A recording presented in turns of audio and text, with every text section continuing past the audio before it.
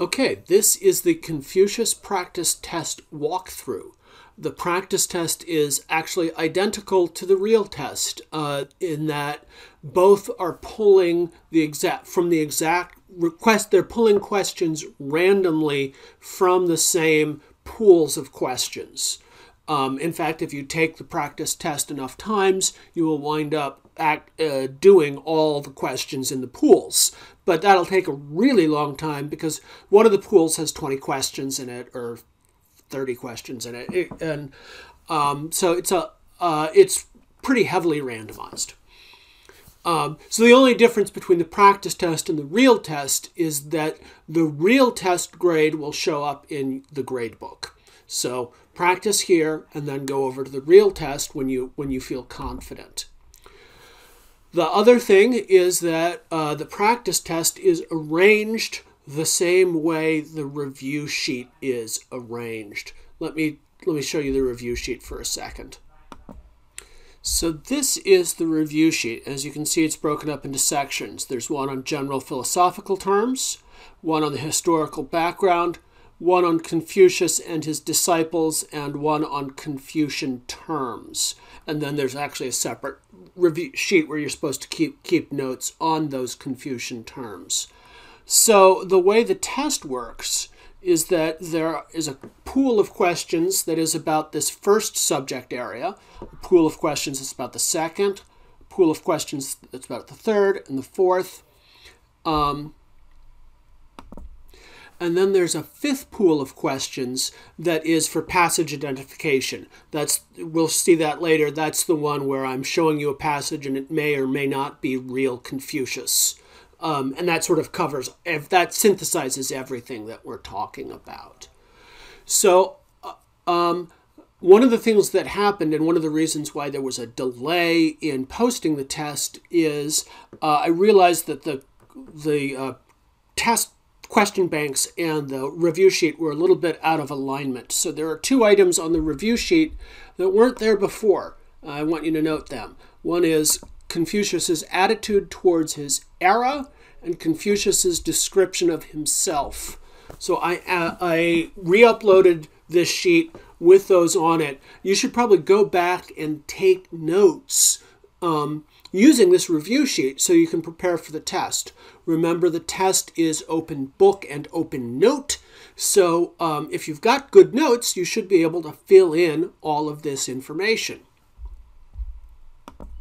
So just as a demonstration, I quickly started to fill in some basics inform information on a copy of the review sheet here. The stuff I was filling in, in was in red. You might want to take longer notes than this, but the main thing that I do here uh, that I recommend doing is tying things back to parts of the presentation when you're talking about parts of the presentation, right? So um, the notion of argument is defined in video 3, slide 7, and video 3 in general covers a lot of the basic terminology around argument and critical thinking that we are using in this course. Um, also, you might want to make notes about the text itself. So for the one of the items I added, Confucius's attitude towards his era, I have this general note, right? Conf the Zhou dynasty was the golden age, um, and his era was, uh, in his mind, a corrupt and fallen era because people were no longer following the ways of the the great Zhou dynasty. And I talk about that in video 2, slide 4, and it's also talked about in the introduction of, uh, of your text in this section called The Age of Confucius, right? Okay, so let's take a look at the test itself. So the first two questions deal with this uh, the pool that's about general philosophical terms and that pool is actually going to be in all uh, three tests so you, these questions could appear, will, will appear in this test, in the Plato test, and in the test on the Bhagavad Gita. Okay, um, so let's just take a look at this. Um, a lot of these are critical thinking terms, terms about argument, because one of the things that I've emphasized is that in philosophy we present um, almost all of our ideas almost all of the time in the form of arguments, premises, and conclusions.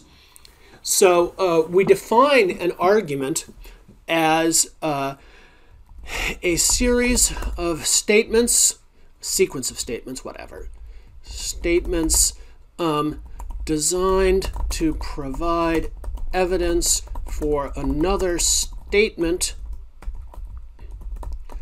called the conclusion. Right? Um, let's say connected. Connected series of statements. And we'll spell connected correctly. Right? And this comes up actually in I discussed this in the video on Mencius and argument. Right. So this is the relevant slide here. I say that uh, I define an argument as a connected series of statements designed to convince an audience of another statement. Um, and this is in the Mencius slide because in the Chinese philosophical tradition, it's really with Mencius um, who was a, a, a, later generation follower of Confucius, that the idea of argument becomes central to Confucian philosophy. Um, so it's um, so yeah, that's all discussed here. The other question in the practice test um, that's about argument is a question that asks you to put an argument in standard form right? One of the things I did uh, for a lot of uh, in the Mencius video is I took the arguments that Mencius presents and I put them in standard form with premises and conclusion marked. So for question two, you're going to get a random passage, um, and uh, you're going to have to put the argument that this person in the passage is giving in standard form. What that means is that you're going to list premises and conclusions. So your premises are just going to be P1, P2, and your conclusion will be C. Um, and generally they'll be between one and three premises. So let's read this passage. Cindy is predicting that spring break will go well. She thinks to herself, if the car breaks down on the way to Florida, that would ruin our vacation. But the car isn't going to break down. Therefore, our vacation will not be ruined. So we want to look at the part that's in quotes because that's the argument that Cindy is giving. Um, and then we uh, want to look for indicator words. This word here, therefore, is an indicator word. It lets you know that uh, what follows is the conclusion of an argument. So we're going to say, and we can just cut and paste here, it makes our life simpler. Um, our vacation will not be ruined. If the car breaks down on the way to Florida, that would ruin our vacation. Um, and then, but the car isn't going to break down. And we'll just paraphrase that here. But the car isn't going to break down. And our indicator word is therefore.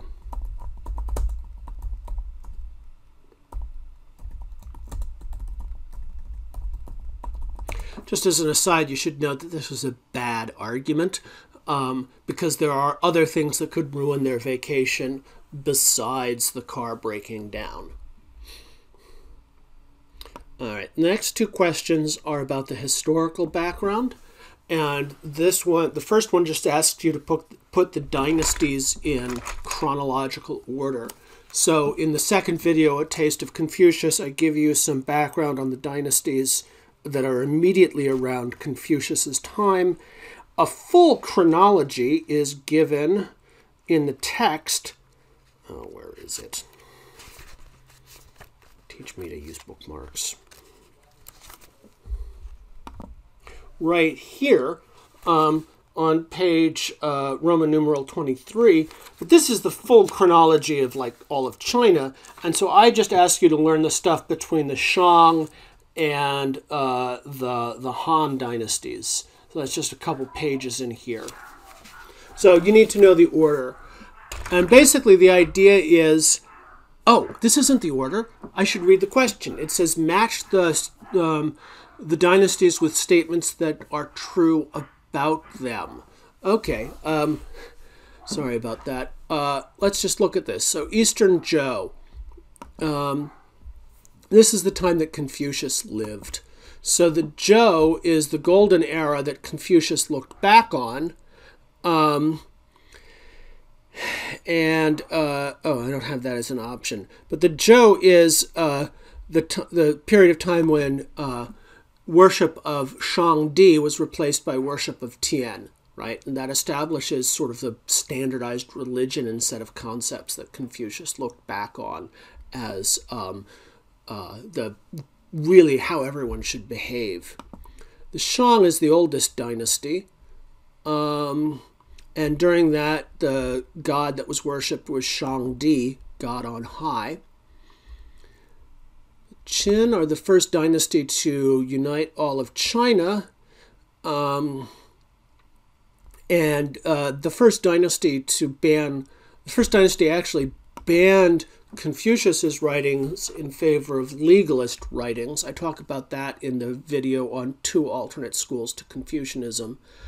And then Han sort of gives us the end of the story. This is when Confucianism becomes the state religion. That is, so you start to see um, the empire have tests, standardized tests on um, Confucius's thought. Um, and if you do well in the test, you have a chance of getting a job in the government, which is a really prestigious thing. Okay, Qin Dynasty. Um, it is generally considered the first empire to unite all of China. Yes. It's also where we get our name China. It's um, from Qin. Um, it introduced standardized writing, money, and units of measurement. Yes.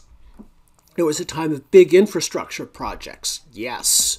So the Qin emperor, this was like 15, only 15 years long, he united everything and completely remade all of China in the image that he wanted. Um, this is not when uh, the Confucian tests were established. He uses legalist um, uh, legalist framework, nor is it the, the time work when the ideas of Confucianism were developed. That was those were developed during the Zhou Empire, which is his um, uh, the uh, uh, which was the Golden Age. So we've got now two questions on on Confucius's student. Uh, one is Mencius, uh, students, and so one is Mencius. Mencius was uh, not an immediate follower of Confucius. He was taught. You might remember Master Zeng in the book um, Master Zeng's grandson taught Confucius, or taught Mencius. Um, and he gave us that bit of the reading um, where uh, that we had, that little reading that we had, where he argues that all people have a heart that cannot stand to see, see the suffering of others. And as I, as I was just saying, he is the first to really introduce the notion of argument into and cent- make central the idea of argument in the Confucian tradition. The other student that we get from our randomized thing is Yan Hui, uh, who is uh, was Confucius's favorite pupil, but who died young. Right. Um, so it's these ones. So the other students, the only false one here is the first one. Uh, it says the other students resented the favorable treatment he received from the master. Uh, you might remember in the book that's not true. In fact, Zigong says, God, Yan Hui, he is so good. Um, I believe the line is, he learns what he is taught one thing and thereby knows ten, whereas I'm taught one thing and I only know two right? So even the other students were impressed with Yan Hui, but he died young, and that really affected the master um, uh, profoundly. He was really uh, upset. Oh, and I selected a wrong one here. I need to read rather than just talking. He impressed the master by always asking insightful questions. No, he did not. Um, in fact, the master said, Gosh, he seems stupid. He never asks me any questions. But when things turn around and you see him in practice, um, uh, in practice, you see that he actually understands everything because he can do it right. So that's that one. All right. I'm going to role model reading the questions carefully now. So, which of the following are true about the Confucian concept of learning? So, uh, the last question pool on the review sheet is about the um, central Confucian concepts. You should have a running sheet where you were keeping track of analects that are relevant to this. Um, and uh, there's some, uh, well, so uh, the one that we got pulled this time is learning. So what do we want to say? Learning is not important for a gentleman. Now that's false. Obviously, learning is important, incredibly important for a gentleman. Learning moderates the other vices. Yeah, there's a passage about that he where he says, um, you know, if you love uh, righteousness but not learning, you will become too rigid. Um, right? And he also talks, so, um, right? Um, learning doesn't require any books or teachers. No, no. The learning he's talking about is very much book learning. It is tied to the reading of the Confucian classics like the Book of Odes and the Book of Documents. Learning gives words. If you do not study, you lack the means to speak. Learning is tied to practice. You have to, uh, you know, you have learned when you can act. And that's a central point, right? um, acting is um, um, the sign of knowledge for Confucius. 40 to 60 words on Wu Wei. Okay. Wu Wei, I'm not going to include the accents here. Literally, W E I means not acting, but it is more of a sort of effortless, natural action. Um, a sage, uh, an accomplished person, just spontaneously does the excellent thing.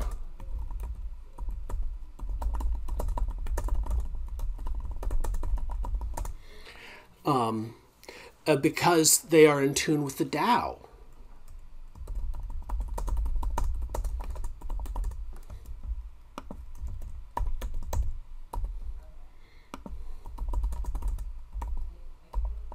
Right?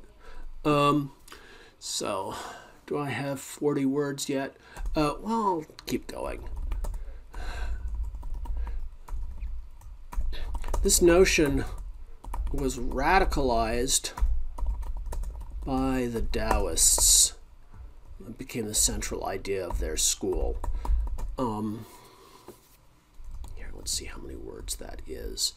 And here I can just pop this into a um, word processor and it tells me I've got 43 words here. All right, so the last two are passage identification role model reading the instructions carefully. 9 through 10 are real passage are, are some of passages 9 through 10 are real passages from Confucius's Analects, either parts that we have read or parts that are not included in your text, and others are decoys. Um, passages from philosophers that I've rewritten to superficially resemble Confucius or stuff that I just made up. So the decoys all have the form the master said and then there's a quote there, but it's not actually something the master said. It might be something that someone else said, maybe one of the Taoists. Um, it may be a completely irrelevant thing or a completely random different thing, like a Greek philosopher. Um, and sometimes they, uh, what I've done is I've taken something that Confucius said and turned it on its head. Um, and that would be another kind of decoy that's in there. Um, so you, you need to explain whether you think it's Confucius or a decoy and give reasons for your answers. Um, and most of your grade is actually going to be based on the reasons you give. Um, that is, you should be able to identify what key Confucian themes are being expressed or not expressed here, and that is that's the real sign of knowledge. Um, like Confucius, I'm assuming you can uh, that the sign of knowledge is practice. In this case, the practice is identifying passages. Okay, it's not quite the same as real world practice, which is what Confucius would really like, but it's closer. So the master said, The gentleman is true, but not rigidly trustworthy. Ooh, that's a hard one. That's actually one of the harder ones in the question pool. Um, so you might think, of course, this can't be right. The a gentleman would be completely trustworthy. You would always say the right thing all the time. But if you think about it, we all know that there are times in which the gentlemanly thing to do is not tell the truth. Um, and generally, when I teach truth telling, I ask, right, is it or should you always tell the truth? And someone gives the example of someone raises their hand and says, No, you shouldn't always tell the truth. Sometimes someone will say, Does this dress make me look fat? And you just say no. I don't know why this is everyone's go to example, but that's the one that people give. And Confucius would say something like that as well, right? That is, um, there are times in which a gentleman um, might fudge the truth. So this is Confucius. Oh, I got a word count on this one. That's good. This is Confucius. Um, you can tell because he emphasizes flexibility. Um, all of the virtues in Confucius um, even telling the truth are um, are a matter of context, are based on context and circumstances. Um, so I got 23 words. I'll do this. You don't want to be like Zigong, who was too rigid, right? Zigong was the Confucian pupil who's um, uh, was a negative example because he was too rigid. What's my next one? The master said, Speaking with understanding, they must hold fast to what is shared by all, as a city holds on to its law, and even more firmly, because uh, it's the human laws are nurtured by the divine one. It prevails as it will and suffices uh, for all, and this is more than enough. All right, this is another hard one um, because again, this looks like it might be Confucius. Um, uh, so, uh, because it, it looks like Confucius because you see that he, the human world parallels the divine world, right? Um, and a well-ordered state in this uh, for Confucius, a well-ordered empire matches exactly the empire of heaven, right? So that looks right. The the trick is that Confucius isn't a big fan of law. He believes that the ideal ruler rules through personal virtue rather than rigidly following the laws. The idea of rigidly following law is from the legalist school, the rival school, right? Um, so this might be a legalist passage. In fact, it's a Greek passage, a philosopher from a Greek, a passage from a Greek philosopher named Heraclitus. But in any case, you would recognize it as not being Confucian because it uses law to organize the state properly rather than what's really important for Confucius, which is individual virtue, which can't be captured in law. So let's do it like this. This is not Confucius. It looks like Confucius because it says the uh, human order is um, nurtured by the divine order.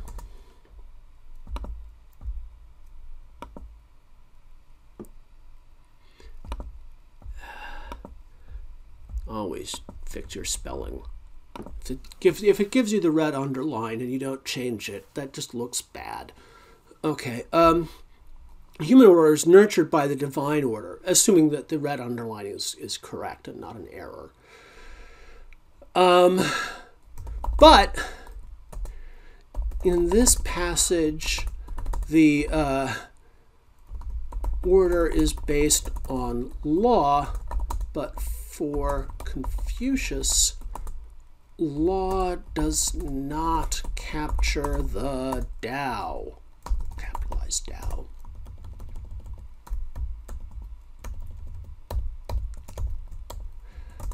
This looks like it might be a legalist philosopher. And I, I got to tell you, if you said that this was Confucius, um, and you said it is Confucius because um, it says the human order is nurtured by the divine order, I'd give you 8 out of 10 points. I would dock you 2 points for not noticing the, the law bit, but you know, you did capture something really important that the human order is based on the divine order. Okay, so that's the practice test. I encourage you to take it as many times as you want before you take the actual test. Uh, when you take the actual test, all of the questions that uh, require essay responses, like these last ones, are not graded automatically, which means that the grade that you see will be lower than the grade you're actually going to get because it doesn't include, at the very least, these last two questions. Those are ones that I have to go in and check by hand. And then I also check the multiple choice questions um, because I don't like the algorithm it uses to assign partial credit, and I give partial credit my own way, um, which is better. Um, so yeah, that's the practice test. If you have any questions, you can uh, just email me or text me.